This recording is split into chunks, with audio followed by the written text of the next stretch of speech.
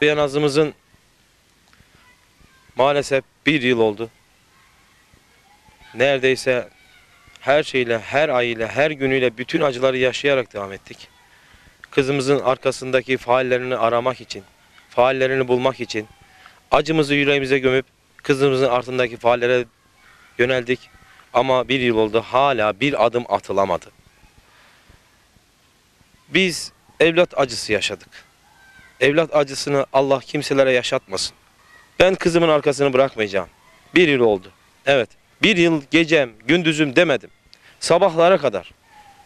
Gündüzüm, gün boyunca araştırdım.